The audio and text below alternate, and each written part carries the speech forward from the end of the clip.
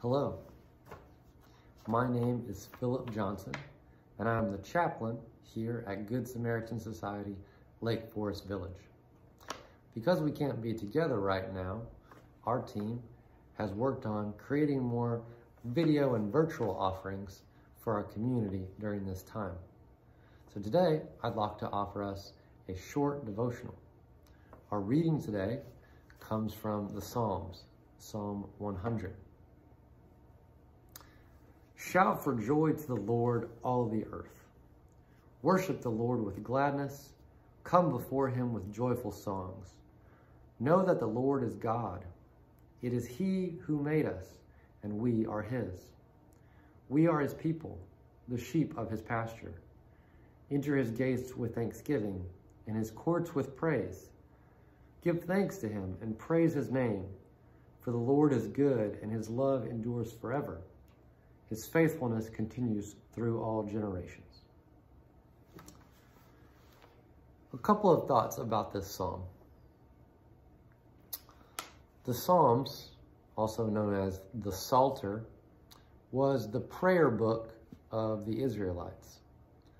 The Psalms also are poetry, uh, and they're also the lyrics to music.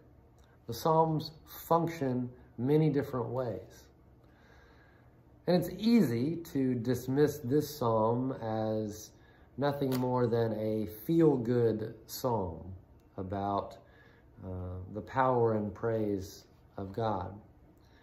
But I think it's helpful for us. We are invited into a session of joyfulness and thankfulness. And sometimes we have to be invited into joyfulness and thankfulness because we're not particularly feeling joyful or thankful. This season has been a difficult one, uh, and many days have not been joyful uh, or been cause to give thanks. But I think it's important to be reminded that we always have a reason to be joyful and thankful. Not always happy, but joyful. Verse 3 reminds us to know that the Lord is God. To be reminded that we are not God.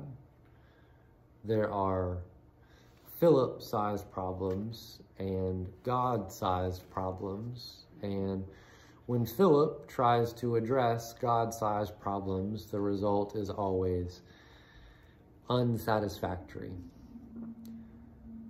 So it is helpful for me to know that the Lord is God and that I am not. Verse 3, it is he who made us, and we are his.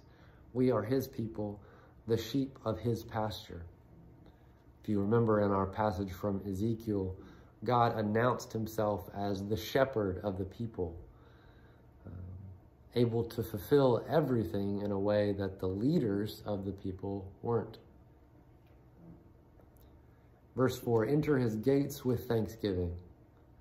An appropriate verse as we prepare for Thanksgiving Day, a day that we set aside to be together and to give thanks. Verse 5, for the Lord is good and his love endures forever. His faithfulness continues through all generations. I think it's important to be reminded that God's love, unlike everything else, is forever. I don't know how long the coronavirus will last or how long these current restrictions will last that we're having to abide by in our community. But I suspect and know that they are temporary, just like everything else. Everything except God's love and faithfulness, as the psalm reminds us.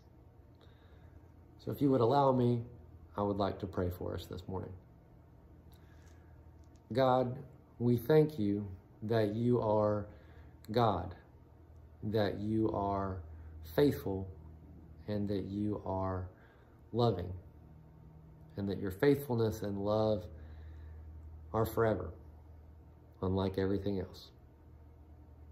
Amen. I hope you have a good day today.